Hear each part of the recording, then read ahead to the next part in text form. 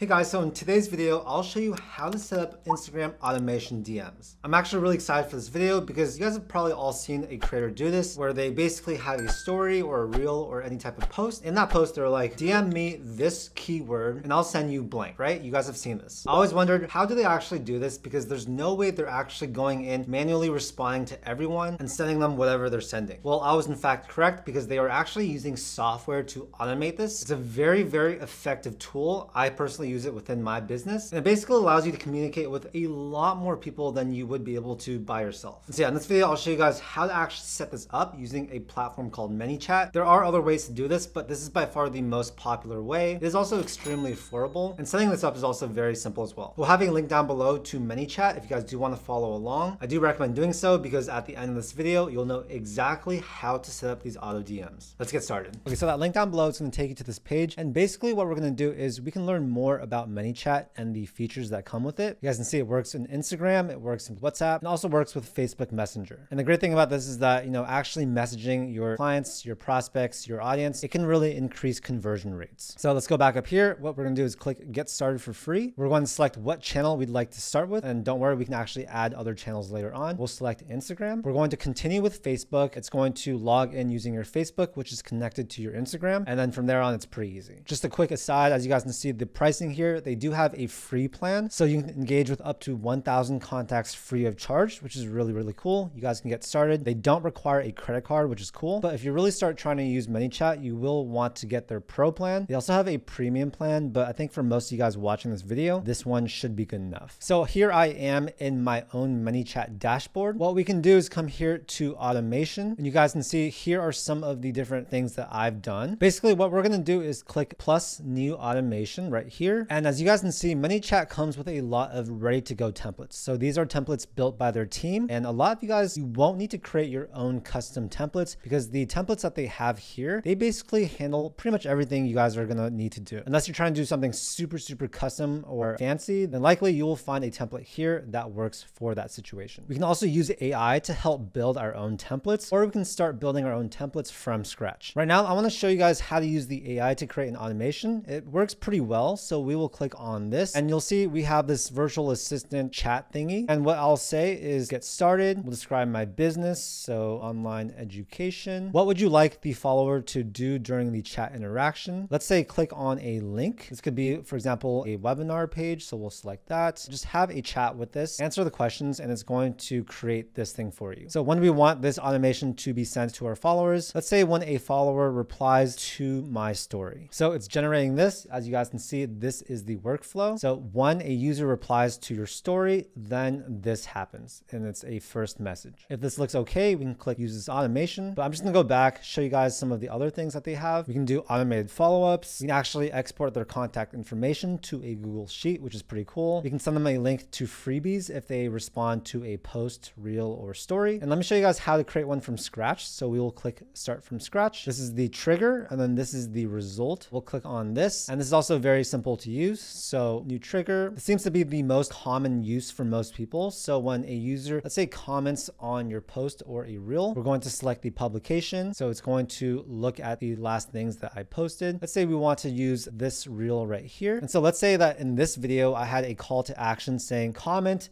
DM, and I'll send you a link to my free guide on this, right? In that case, what we're going to do is select comment contains any words or specific words. This is going to be any comment at all. And this is going to be a comment that contains a specific word. So for, I think most of you guys watching this video, you'll want the specific words one. We're going to include the keyword here. So let's say DM. We can add multiple keywords too. So let's say direct message. Sometimes people don't comment the exact thing, but in this case with DM, it's very likely that they do. We can also add D space M. We can also include keywords to exclude, but for this situation, I'm just going to skip that. And then we can select whether or not we have a public auto response. So a lot of people, they do do this since it does add to the comment count. We can say something like sending over now. We can actually add multiple responses, right? So of course you don't want to just have one singular comment since it looks kind of weird. What I recommend doing is have maybe three to five comments. That way just looks a little bit more natural. But of course you can turn this off if you don't want that auto response in your actual feed. In that case, it's just going to DM them without actually commenting back on that post. So we'll click save now. That means our trigger is set. And now we're going to work on the result. So we will click on this. So here we're going to select what to send as. So you can send as a comment reply. But for us, we're going to do within 24 hour window. So this is going to be a message. We're going to enter in the text. So we can say something like that. We can add a button too if we want. Let's do open website. We can put the URL right here. We will click done. We can also add an image. We can add a card, video, audio, whatever it is. And yeah, that's about it. This is a very basic little funnel right here. Basically, one, a user comments on your post or a reel. In this case, we are going to have them comment DM or direct message or DM. We're going to auto respond within the feed. So it's going to be one of these three things. Once that happens, it's going to actually send them a direct message to their inbox. We set the text as this with a link. This button is going to go to a certain URL. That's pretty much it. So after this, what we're going to do is we can click preview. This is what it looks like, which is cool. That all looks okay. We're basically going to click set live and then it's going to actually be live on your page. We can of course click plus to add more things. So we can click next step right here. We can add another thing. For example, we can perform different actions. We can set conditions. We can set a smart delay too. This is just a very brief overview of what you guys can basically do with ManyChat. All the contacts that actually respond to you, they can be imported here into contacts. And we can also chat with everyone within live chat. So I'm gonna do one more. So let's say we want to use Instagram stories to generate more leads. We'll click on this. We'll then click set up template. So now this is basically the trigger when a user replies to our story. It's going to send them this message. This is already pre-built out, which is pretty cool. So we'll click on this. We can actually select what story we're going to use, or you can actually have this apply to all stories if you want. This is the condition. So it contains specific words or reaction. This is likely what you guys will choose because if you choose this, then any type of reply, it's going to get that message, which is usually not good. We'll enter in the keyword right here. So let's say webinar. We'll set the delay automation. So wait X seconds. Let's say we can do 30 seconds. We can automatically like the reply on the feed if you do want. This is only available with the pro plan. So let's click save. Now we're going to come to the actual message. Click on this to edit this. So we can actually use their first name like that. We can change this. And then we have this little link right here. We can of course change this. And if you guys want to have another reply, you can set something like this where it waits three seconds after DMing this and it has an additional message. We can even do another one as well if we want, but I think two is good for most people. If this looks okay, we can preview it and then we can click set live when we are ready.